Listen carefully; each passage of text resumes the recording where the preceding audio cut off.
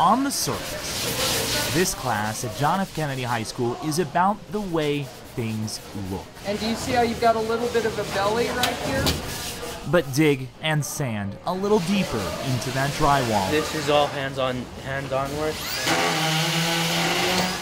These students are not only looking at the little bumps and bellies, but also the numbers. It's different from like math and science.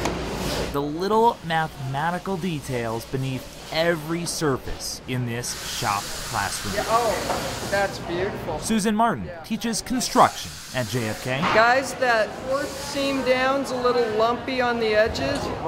A class that is less about sanding, scrubbing, and, well, slopping than meets the eye. I'm a visual learner, and I had trouble with math in school. So do a lot of students in this class, like Geraldo Delgado. Yeah, because most of the stuff in math we do doesn't have to do with real life. Like we asked the teachers, like, when are we going to use this? They're like, ah, probably never.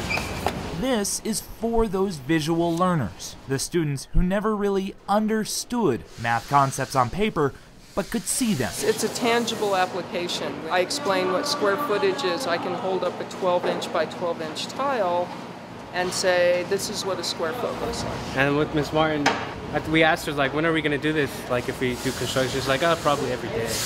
No two students will ever build a drywall exactly the same, nor will they master geometry or algebra at the exact same time. I feel like I learn a lot better with my hands.